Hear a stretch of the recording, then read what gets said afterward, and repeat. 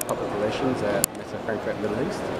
Uh, we're the organizer of Hardware and Tools Middle East and uh, we're here this week at the Dubai International Convention and Exhibition Centre. Um, we have 115 exhibitors with us this week, uh, representing 130 brands. Uh, this trade show is dedicated to the construction, metalworking and fabrication industry. We're expecting more than 3,000 buyers to visit us over the next three days. Um, and um, yeah, in terms of significance of the show, we released figures today from Dubai Customs that's uh, mentioned that the Dubai, or the Emirate of Dubai, imported, re-exported and exported 4.8 billion dirhams worth of hardware and tools in 2017. So you can see the significance of the show uh, in serving the construction industry, where industry professionals from throughout the region, the GCC, Middle East and Africa, can source source their tools for their jobs, and of course meet distributors, meet manufacturers, and, and just generally engage in good, good uh, productive business discussions. How has been the growth of the exhibition? So the, there's no growth year on year this year. Um, 115, there's actually been a slight decline in exhibitors, but most of that decline is from representatives from China. We do have some big brands and uh, regional distributors that are on board this year that have not been with us in previous years. Uh, for example, Awani Trading. They have exhibited at the show in previous years, but they have taken a bit of a break and now they're back with us again, so we're glad to have them back. Um, they represent 30 brands in the uh, hardware and tools sector.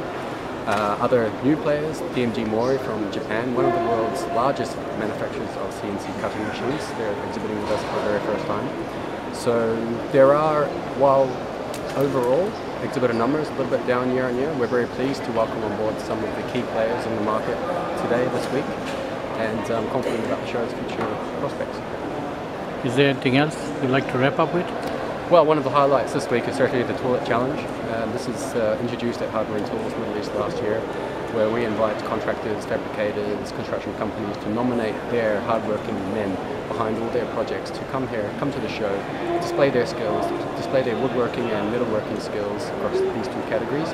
Uh, this competition is taking place today and supported by some of our exhibitors who are providing the tools for, for for our hardworking men to compete across these two categories. And uh, yeah, that's uh, the winners will be announced shortly in about a couple of hours. And um, we have 40, 40 nominations, or between 40 and 50 uh, workers that have nominated themselves for this competition. So it's uh, just been a great kind of uh, buzz on the show floor and, and the centre of attraction. Thank you very much.